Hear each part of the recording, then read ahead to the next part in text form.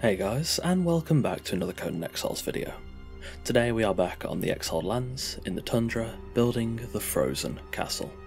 Some of you may remember the Bloodfort build I did a little while ago. Well this build is thematically the opposite.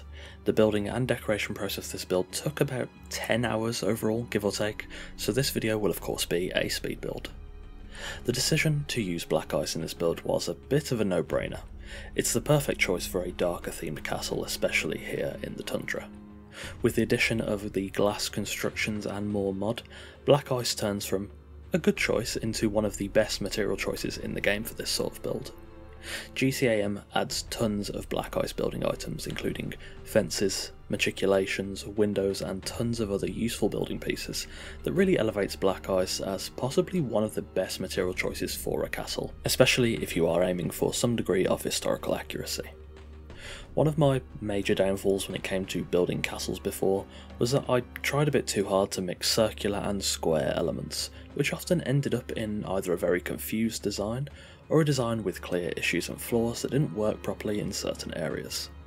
Therefore, for this build I laid out everything ahead of time with black ice fence foundations. This helped hugely with planning and managed to avoid any of the design or structural issues I mentioned before. From the base plate, this build can look quite square and flat, but in the end it'll be anything but. I'll be building up the walls with layering elements, including windows, buttresses, and overhanging machicolations, that should help to build upon the squared design and create something with a bit more depth and dimension to it. The core philosophy I worked with when constructing this castle was quite simple build something large and intimidating. Having recently made the Blood Fort and seeing how much people enjoyed that, I wanted to create something that was a polar opposite a well defended castle in probably the second most inhospitable area in the Exiled Lands, the Tundra. The plateaus in this area are the perfect place for this castle, so you know I had to build it on there. Throughout history, castles were planned with environment as perhaps one of the most important factors before any groundwork was ever laid. You can add as many buttresses and machicolations as you want, but if your castle can be surrounded and swarmed, it will eventually fall. Those more decorative castles definitely do have a place in the Conan roleplay environment, but for this build I wanted something that would be near impossible to besiege, and the environment of this area was perfect for that. With only a small cramped gatehouse and a retractable drawbridge allowing access directly to the castle gates, moving any sizable force against the castle in a head-on assault is very difficult. Even if attackers managed to get through the gatehouse unscathed, they'd come up against a solid metal castle door and find themselves in what I'm calling the kill box, a square enclosure where rocks, arrows, and burning oil can be rained down upon them by the defenders above.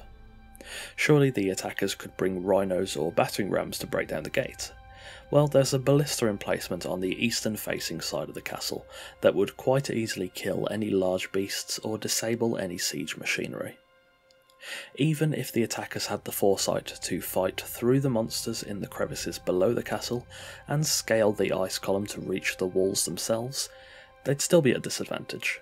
The land here is narrow and sloping, forcing attackers to bunch up against the walls, which, of course, have plenty of machicolations above to allow defenders to dispatch the enemy forces.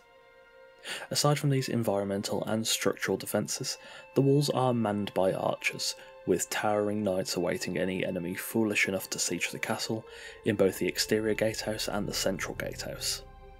If you've been around for a while, you may remember that I built a similar, although smaller, Black Ice castle quite a long time ago in the mountains of the tundra.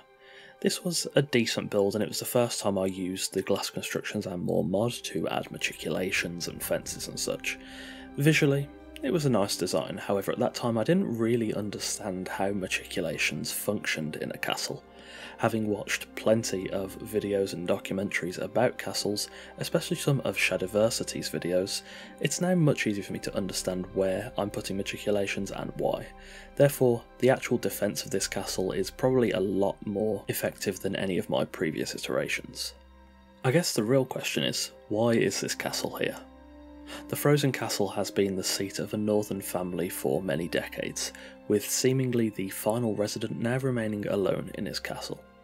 Unable to have children of his own due to his family's twisted past, surely fate would ordain his family name to the ages. However, it appears that all is not as it seems within the castle. rumour in the southern taverns from traders brave enough to visit is that many of the castle guards do not seem to speak or show fatigue, and there are even rumours of their eyes glowing faintly behind their helmets.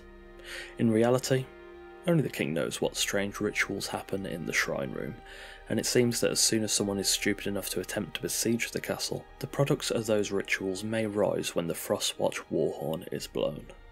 When it came to decoration in the furnishing phase, I wanted to capture a rustic feeling that fits the brutal cold of the tundra.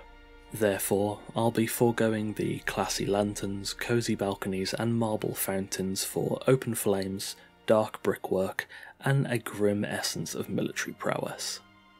I aimed to give the build some identity with the Order of Arcanium banners, a Age of Calamitous faction banner that I couldn't find much lore about, so I decided to use it for this build.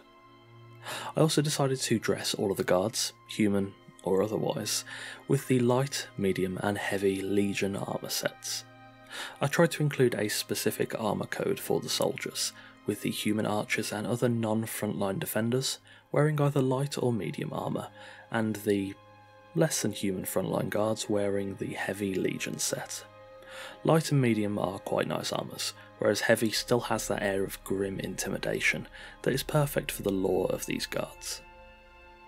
So, I think that about covers everything I have to say for this build.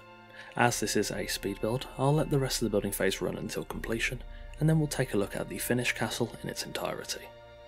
As usual, all of my links to my Twitch, Discord, Twitter, Patreon, and NordVPN are in the description below. Also, at the time of recording, the channel is currently only 4 subscribers away from 10,000.